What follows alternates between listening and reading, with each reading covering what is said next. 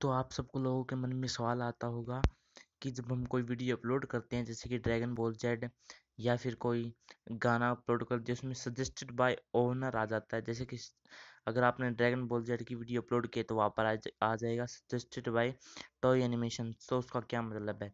देखिए, मैंने एक वीडियो अपलोड की थी ड्रैगन बॉल सुपर या जेड की, उसमें ऐसे सजेस्टेड दिखाया हुआ है।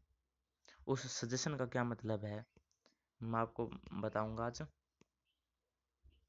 देखिए यूर चैनल में।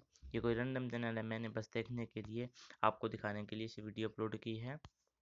इसे मैंने ओपन किया।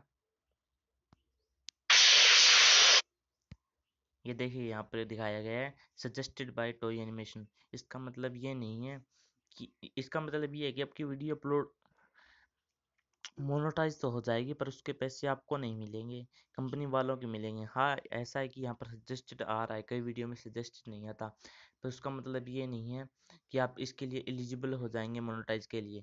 आप इसके लिए एलिजिबल नहीं होंगे, वो जो भी इनकम होगी इसकी, कंपनी वालों को होगी, जिसने सजेस्टेड दिया है। सजेस्टेड का मतलब है कि वो वीडियो अब आपके चैनल से डिलीट नहीं होगी।